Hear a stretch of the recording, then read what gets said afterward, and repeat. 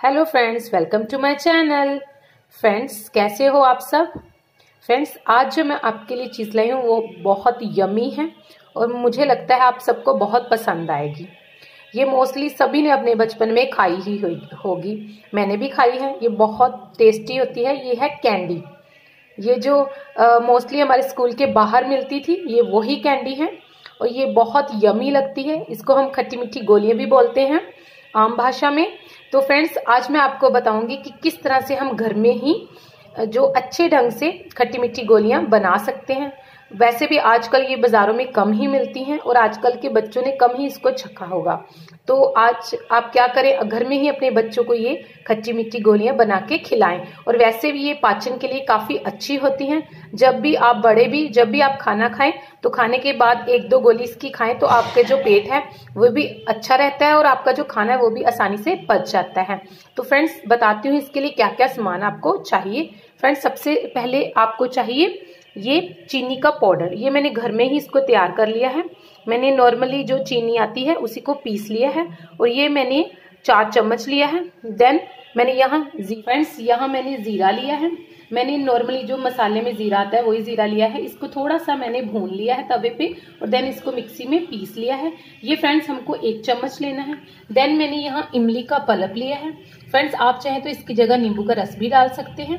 साथ में मैंने लिया है काला नमक। और मैंने अमचूर का पाउडर लिया है। यहाँ मैंने फ्रेंड्स दो चम्मच लिया है अमचूर का पाउडर। ये आप फ्रेंड्स ऐसे ही याद कर सकते हैं।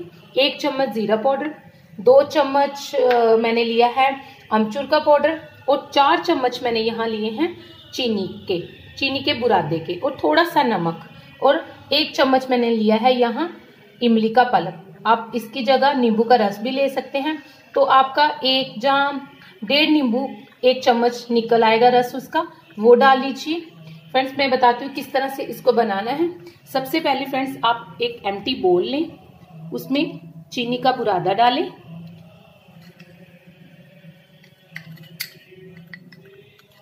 यहाँ मैंने इसको चार चम्मच लिया है।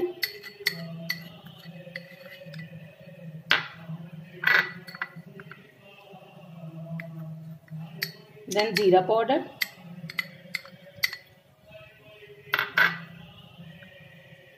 अमचूर पाउडर।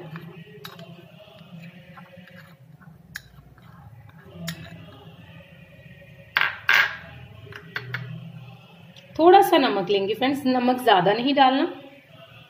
और काला नमक ही लें, वो ज़्यादा टेस्टी लगता है। आप चाहें तो वाइट नमक भी ले सकते हैं।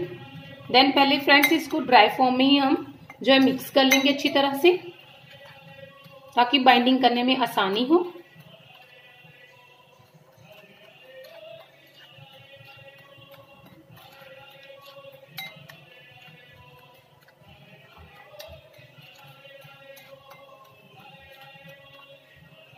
देन फ्रेंड्स इसमें हम थोड़ा थोड़ा करके वो जो इमली का पलफ है, वो डालेंगे। और इस मिक्सर को फ्रेंड्स हमने इस तरह से करना है, जैसे कि हम आटा गूंदते हैं बिकॉज़ हमने बाद में इसकी गोलियाँ तैयार करनी है। तो ये जितना अच्छा आपका, जैसे हमारा आटा गूंदता है तो फुलके अच्छे बनते हैं। उसी प्रकार से अगर हम इसको अच्छी तरह से गूंदेंगे तो हमारी जो गोली है, वो काफ़ी अच्छी तैयार होंगी।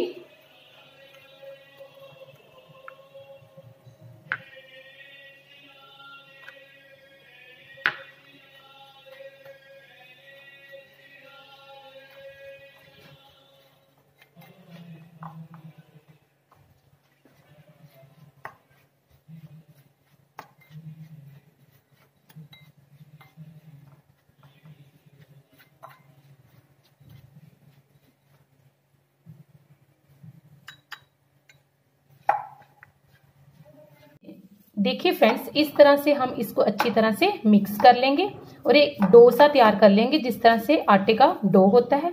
देन हम इसकी छोटी छोटी गोलियाँ बना लेंगे। यहाँ मैंने छोटी छोटी बनाई हैं, आप जिस भी साइज़ में चाहते हैं, उसी साइज़ में आप बना लें इसको।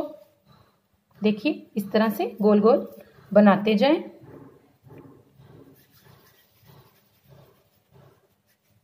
देन फ्रेंड्स गोल गोल बनाने के बाद आप क्या करें? थोड़ा सा आप जो चीनी का जो पाउडर मैंने तैयार किया था, वो रख लें और उसमें आप इसको डिप करते जाएँ।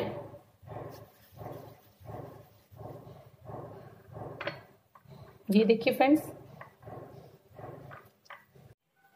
देखिए फ्रेंड्स हमने इस तरह से सारी गोलियाँ जो हैं, वो तैयार कर ली हैं और मैंने इसको चीनी के पाउडर में लपेट लिया था और इस तरह से ये तैयार हो चुकी हैं। फ्रेंड्स प्लीज़ एक बार इसको घर में बना के देखना। मैं आपको श्योरिटी से कहती हूँ, आपको अपने बचपन की याद ज़रूर आएगी। और फ्रेंड्स आप इसको जब भी बनाएँ तो प्लीज़ मुझे कमेंट के थ्रू बताना कि आपकी ये गोलियाँ कैसी बनी हैं। और फ्रेंड्स प्लीज़ अगर आपको ये वीडियो अच्छी लगी है तो मेरे चैनल को सब्सक्राइब कर लेना, साथ में जो बेल आइकन दिया है, उसको प्रेस कर देना, ताकि आपको आने वाली मेरी सभी वीडियो का नोटिफिकेशन मिल सके। और फ्रेंड्स एक लाइक बटन तो बनता ही है, अगर आपको ये मेरी वीडियो अच्छी लगेगी, एक आपके लाइक बटन को दबाने से मुझे तो कुछ नहीं मिलेगा और ना ही आपका कुछ जाएगा। बिकॉज़ अगर आप सब्सक्राइब करेंगे मेरे चैनल तो वो भी फ्री है। अगर आप लाइक का बटन प्रेस करेंगे तो वो भी फ्री है। तो please subscribe my channel and friends take care bye see you again.